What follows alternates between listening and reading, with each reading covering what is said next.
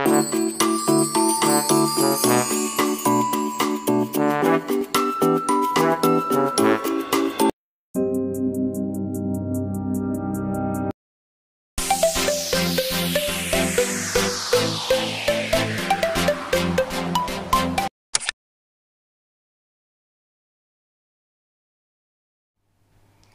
everyone, this is Shabnam here. Welcome back to my channel, The Counseling Corner. This is my fourth video and in my previous videos I have tried giving some important information. Hope you have viewed them and in case you have not viewed them, please do view them and if you like them, please do give me a thumbs up, share my videos with others and subscribe to my channel, The Counseling Corner. Today I am going to talk about depression. Are you aware that every minute someone or the other is taking away his life due to various reasons? So now what is depression? As human beings, it is very normal that we experience negative feelings like anxiety, tension, fear, guilt, sadness at some point of our life due to various reasons. If something good happens in our life, then we experience positive feelings like happiness and excitement.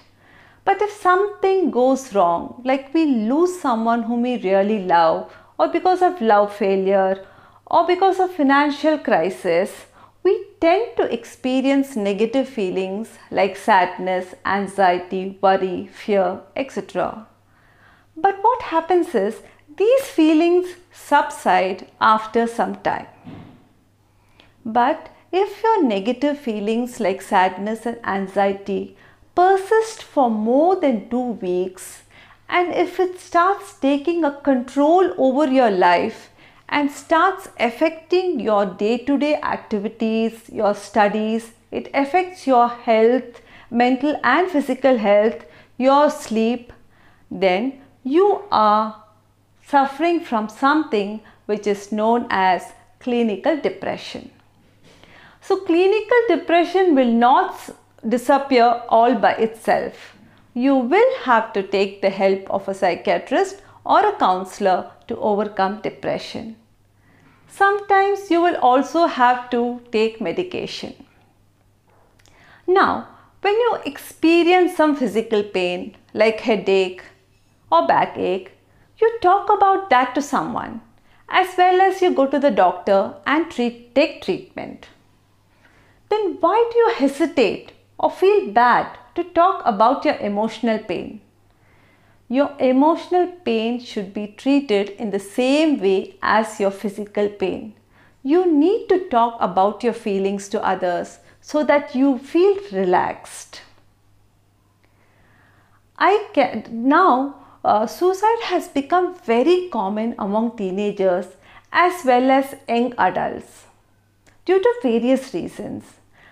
I can relate very well to suicide as well as depression because at one point of my life I was severely depressed and I tried ending my life not once but twice.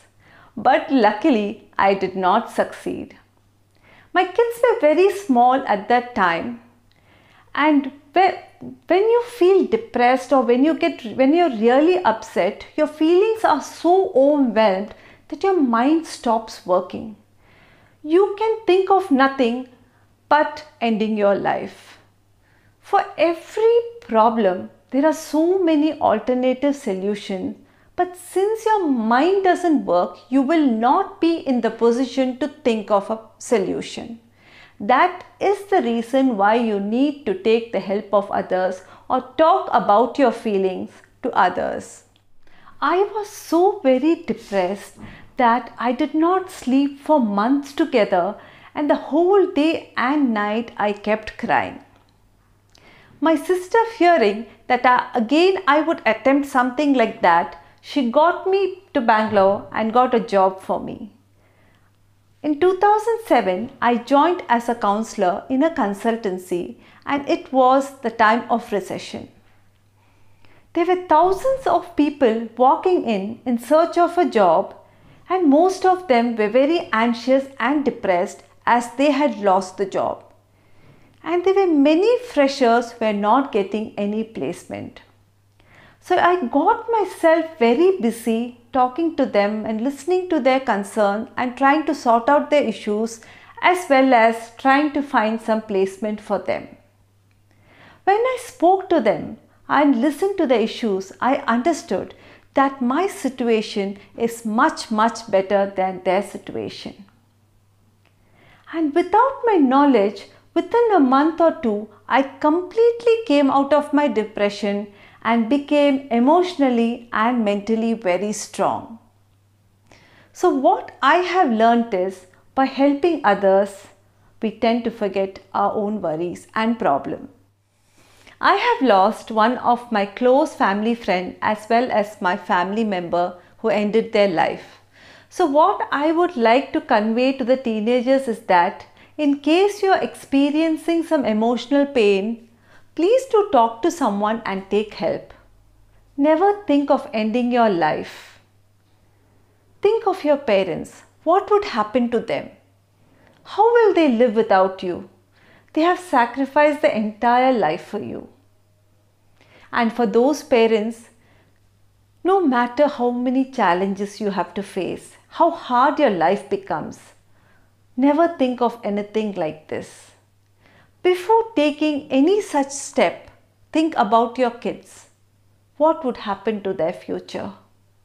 How it is going to impact their mental health in a drastic way.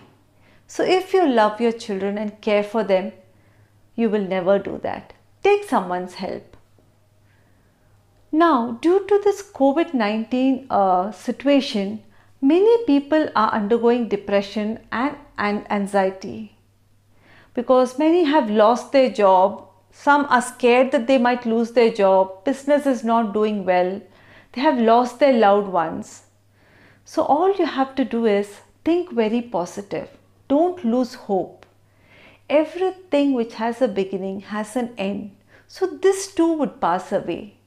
But you need to have a lot of patience and be emotionally and mentally very strong. Hope you liked my video. In case you liked my video, please do give me a thumbs up and subscribe to my channel. So in my next video, I would be speaking in detail about suicide as well as I would give you some tips as how to cope up with your emotions. Thank you so much. Stay safe, stay healthy.